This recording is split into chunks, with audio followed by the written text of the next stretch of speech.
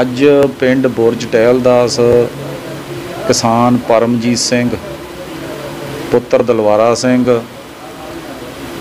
ਉਹਨਾਂ ਦੀ ਖੂਹੀ ਦੇ ਵਿੱਚ ਵੜਨ ਤੇ ਗੈਸ ਚੜਨ ਨਾਲ ਮੌਤ ਹੋਈ ਆ ਤੇ ਉਹਨਾਂ ਦੇ ਨਾਲ ਦੋ ਪ੍ਰਵਾਸੀ ਮਜ਼ਦੂਰ, ਉਹਨਾਂ ਦੀ ਵੀ ਡੈਥ ਹੋਈ ਆ।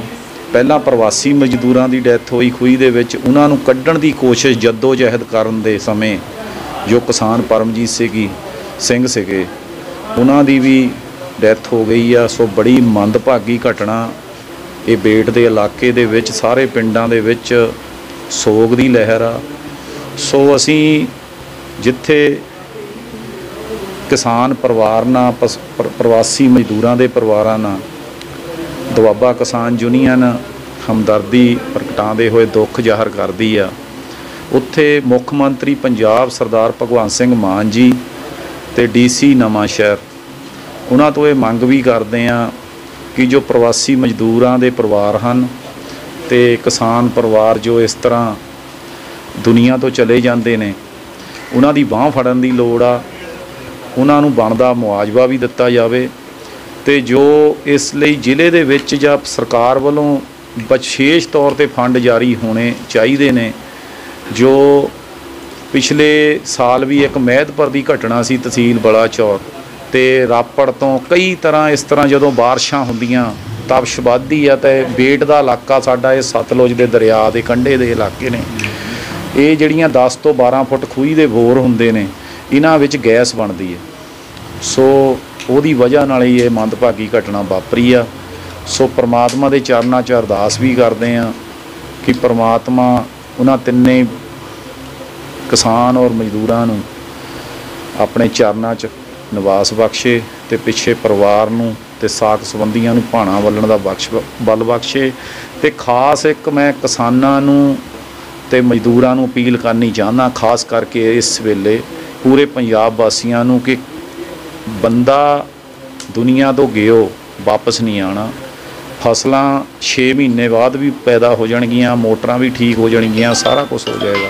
ਸੋ ਕਿਸਾਨਾਂ ਨੂੰ, ਮਜ਼ਦੂਰਾਂ ਨੂੰ ਇਸ ਵੱਲ ਵਿਸ਼ੇਸ਼ ਧਿਆਨ ਦੀ ਲੋੜ ਆ ਤੇ ਸੁਚੇਤ ਹੋ ਕੇ ਹੀ ਆਪਣਾ ਕੰਮਕਾਰ ਕਰਨ ਖੇਤਾਂ ਵਿੱਚ, ਕਿਉਂਕਿ ਪਹਿਲੇ ਹੀ ਕਿਸਾਨੀ ਬੜੀ ਹੀ ਮੰਦੀ ਦੇ ਮਾਰ ਦੇ ਵਿੱਚ ਜਾ ਰਹੀ ਆ। ਜਿੱਥੋਂ ਹੀ ਦੇਖਿਆ ਹੁਣ ਆਲੇ ਦੁਆਲੇ ਕਿਦਾਂ ਹੜਾਂ ਦੇ ਮਾ- ਮਾਹੌਲ ਬਣੇ ਨੇ, ਦਰਿਆ 'ਚ ਜ਼ਮੀਨਾਂ, ਦਰਿਆਈ ਜ਼ਮੀਨਾਂ 'ਚ ਪੂਰੀ ਤਰ੍ਹਾਂ ਜ਼ਮੀਨਾਂ ਨਸ਼ਟ ਹੋ ਚੁੱਕੀਆਂ, ਫਸਲਾਂ ਨਸ਼ਟ ਹੋ ਚੁੱਕੀਆਂ, ਬੰਦੇ ਮਰ ਰਹੇ ਆ। ਤੇ ਸਰਕਾਰਾਂ ਨੂੰ ਵਿਸ਼ੇਸ਼ ਧਿਆਨ ਦੇਣ ਦੀ ਲੋੜ ਆ। ਬੇਸ਼ੱਕ ਸਰਕਾਰਾਂ ਅੱਜ ਆਪਣੇ ਤੌਰ ਤੇ ਕਰ ਰਹੀਆਂ, ਪ੍ਰਸ਼ਾਸਨ ਕਰ ਰਿਹਾ, ਪਰ ਸਮੇਂ ਰਹਿੰਦੇ ਜੇ ਕੀਤਿਆ ਜਾ ਸਕੇ, ਡਰੇਨਾਂ, ਖਾਲਿਆਂ ਦੀਆਂ ਸਫਾਈਆਂ ਕੀਤੀਆਂ ਜਾ ਸਕਣ, ਤਾਂ ਇਸ ਤਰ੍ਹਾਂ ਦੀਆਂ ਜੋ ਮੰਦਭਾਗੀਆਂ ਘਟਨਾਵਾਂ ਨੇ, ਉਹਨਾਂ ਤੋਂ ਆਪਣੇ ਪੰਜਾਬ ਦੇ ਲੋਕਾਂ ਨੂੰ ਤੇ ਪੰਜਾਬ ਦੀਆਂ ਫਸਲਾਂ ਨੂੰ ਬਚਾਇਆ ਜਾ ਸਕਦਾ। ਸੋ ਤੁਸੀਂ ਇੱਥੇ ਪਹੁੰਚੇ ਆਪ ਜੀ ਦਾ ਧੰਨਵਾਦ। ਵਾਹਿਗੁਰੂ ਜੀ ਕਾ ਖਾਲਸਾ ਵਾਹਿਗੁਰੂ ਜੀ ਕੀ ਫਤਿਹ। ਸਰ ਕਿਦਾਂ ਜਿਹੜੀ ਅੱਜ ਜਿਹੜੀ ਘਟਨਾ ਵਾਪਰੀ ਕਿਦਾਂ ਹੋਇਆ ਜੀ? ਅੱਜ ਮੁਤਾਬਕ ਬਿਆਨ ਸਰਦਾਰ ਦਲਬਾਰਾ ਸਿੰਘ ਪੁੱਤਰ ਸੋਹਣ ਸਿੰਘ ਵਾਸੀ ਬੁਰਜ ਟਹਿਲਦਾਸ ਵੀ ਉਹਨਾਂ ਦਾ ਬੇਟਾ ਪਰਮਜੀਤ ਸਿੰਘ ਉਮਰ ਕਰੀਬ 40 ਸਾਲ। ਆਪਣੇ ਇੱਕ ਜਿਹੜਾ ਘਰੇਲੂ ਨੌਕਰ ਸੀ ਉਹਦਾ ਪੱਕੇ ਨੌਕਰ ਜਿਹੜੇ ਹੁੰਦੇ ਆ। ਜਨਾਰਦਨ ਉਮਰ ਕਰੀਬ 27 28 ਸਾਲ। ਤੇ ਇੱਕ ਝੋਲਾ ਨਾਲ ਵਾਲੀ ਜਿਹੜੀ ਲੇਬਰ ਹੈਗੀ ਆ, ਉਹਦਾ ਇੱਕ ਰਕੇਸ਼ ਜੀ ਜਾਦਵ। ਉਹਨਾਂ ਦੇ ਨਾਲ ਉੱਥੇ ਖਾੜਕੂ ਵਾਲੇ ਇਹਨਾਂ ਨੇ ਜ਼ਮੀਨ ਲਈ ਹੈਗੀ ਆ 9 9:30 ਵਜੇ ਉੱਥੇ ਗਏ ਸੀਗੇ, ਝੋਨੇ ਵਾਲਾ ਖੇਤ ਤਿਆਰ ਕਰਨ ਵਾਸਤੇ। ਉਹ ਪਹਿਲੋਂ ਜਨਾਰਦਨ ਜਿਹੜਾ ਸੀਗਾ, ਉਹ ਉਤਰਿਆ ਖੂਹੀ ਦੇ ਵਿੱਚ ਚਲਾਉਣ ਵਾਸਤੇ। ਤੇ ਉਹ ਗੈਸ ਦੇ ਇਫੈਕਟ 'ਚ ਆ ਗਿਆ ਜੀ। ਉਸ ਤੋਂ ਬਾਅਦ ਮਗਰੇ ਉਹਦੇ ਰਕੇਸ਼ ਜਾਦਵ ਜਿਹੜੇ 50 ਸਾਲ ਉਮਰ ਹੈਗੀ ਆ, ਉਹ ਵੀ ਉਹ ਜਦੋਂ ਵੇਖਿਆ ਇਹ ਜਿਹੜਾ ਪਰਮਜੀਤ ਹੈਗਾ, ਮੁੜ ਕੇ ਨਾਲ ਜਲਦੀ ਜਲਦੀ ਉਹਨਾਂ ਨੂੰ ਕੱਢਣ ਵਾਸਤੇ ਮਗਰੇ ਇਹ ਉਤਰ ਗਿਆ। ਉਹਦੇ ਵਿੱਚ ਫਿਰ ਇਹ ਵੀ ਗੈਸ ਦੇ ਇਫੈਕਟ ਦੇ ਵਿੱਚ ਆ ਗਿਆ ਜੀ, ਖੂਹੀ ਦੇ ਵਿੱਚ ਗੈਸ ਬਣੀ ਸੀਗੀ। ਤੇ ਤਿੰਨਾਂ ਦੀ ਉੱਥੇ ਮੌਕੇ ਦੇ ਉੱਤੇ ਹੀ ਮੌਤ ਹੋ ਗਈ। ਉਹ ਫਿਰ ਇਹਨਾਂ ਨੇ ਖੂਹੀ ਦੇ ਵਿੱਚ ਪਾਣੀ ਛਿੜਕਾ ਕੇ ਗੈਸ ਦਾ ਪ੍ਰਭਾਵ ਖਤਮ ਕਰਕੇ ਡੈਡ ਬੋਡੀ ਜਿਹੜੀਆਂ ਹੈਗੀਆਂ ਅੱਜ ਇੱਥੇ ਲੈਂਦੀਆਂ ਸੀ ਘਰ ਬੁਜਟੈਲ ਦਾ ਜਿੱਥੇ ਆਪਾਂ ਖੜੇ ਆ ਇਸ ਵੇਲੇ। ਤੇ ਹੁਣ ਇਹ ਮੋਰਚਰੀ ਦੇ ਵਿੱਚ ਰਖਵਾਤੀਆਂ ਹੈਗੀਆਂ, ਤਿੰਨਾਂ ਦੇ ਜਿਹੜੇ ਵਾਰਸ ਹੈਗੇ ਆ, ਉਹ ਇੱਥੇ ਆ ਰਹੇ ਆ। ਤੇ ਫਿਰ ਉਹਦੇ ਅਕੋਰਡਿੰਗਲੀ ਪੋਸਟਮਾਰਟਮ ਜਿਹੜਾ ਕੀਤਾ ਜਾਊਗਾ। ਥੈਂਕ ਯੂ ਸਰ ਤੇ ਇੱਕ ਮੇਰੀ ਤੁਹਾਡੇ ਮਾਧਿਅਮ ਰਾਹੀਂ ਅਪੀਲ ਹੈਗੀ ਆ ਅਸੀਂ ਹਰ ਵਾਰ ਕਿੰਨੀਆਂ ਮੌਤਾਂ ਸੁਣਦੇ ਵੇਖਦੇ ਆ ਦੁੱਖ ਹੰਡਾਉਂਦੇ ਆ ਪਰ ਫਿਰ ਅਸੀਂ ਇਹ ਗਲਤੀ ਕਰਦੇ ਹਾਂ ਕਿ ਬਰਸਾਤ ਲੰਮੀ ਬਰਸਾਤ ਤੋਂ ਬਾਅਦ ਜਾਂ ਵੈਸੇ ਵੀ ਖੂਹੀਆਂ ਦੇ ਵਿੱਚ ਗੈਸ ਬਣੀ ਹੁੰਦੀ ਆ। ਕਦੀ ਵੀ ਖੂਹੀ ਦੇ ਵਿੱਚ ਜਿਹੜਾ ਹੈਗਾ ਵਾ ਨਾ ਉਹ ਇਹ ਇੰਸ਼ੋਰ ਕਰਨ ਤੋਂ ਬਗੈਰ ਨਾ ਉਤਰੋ ਕਿ ਤੁਸੀਂ ਮੁੜ ਕੇ ਗੈਸ ਦੇ ਪ੍ਰਭਾਵ ਕਰਕੇ ਉੱਪਰ ਨਾ ਆ ਸਕੋ। ਹੁਣ ਵੀ ਦੇਖੋ ਤਿੰਨ ਜਾਨਾਂ ਗਈਆਂ।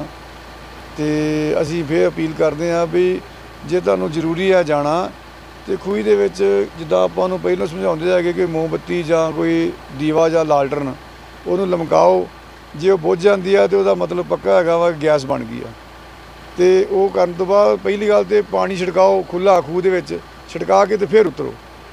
ਥੈਂਕ ਯੂ ਕੀ ਨਾ ਭਾਜੀ? ਜਗਰਨਾਥ। ਜਗਨਨਾਥ ਜੀ ਕ- ਜਿਨ੍ਹਾਂ ਦੀ ਡੈਥ ਹੋਈ ਹੈ ਤੁਹਾਡੇ ਕੀ ਲੱਗਦੇ ਸੀ? ਉਹ ਪਿੰਡ ਦਾ ਆਇਆ ਉਹ ਦੱਪ ਤੇ ਜਾ ਲੱਗਦਾ ਜੀ। ਤੇ ਪਤਾ ਲੱਗਾ ਕਿ ਕਿੱਦਾਂ ਡੈਥ ਹੋਈ ਉਹਨਾਂ ਦੀ? ਨਾ, ਮੈਨੂੰ ਨਹੀਂ ਪਤਾ, ਮੈਂ ਹੋਰ ਪਾਸੇ ਕੰਮ ਕਰਦਾ ਸੀ ਨੌਕਰੀ। ਉਹ ਤਾਂ ਦੇਖਣ ਆਏ ਆ।